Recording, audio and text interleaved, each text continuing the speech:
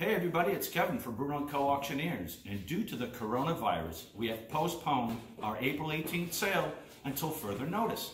We're not setting a date just yet. We will update you in the future, but as of now, we are putting everything on hold for that auction time.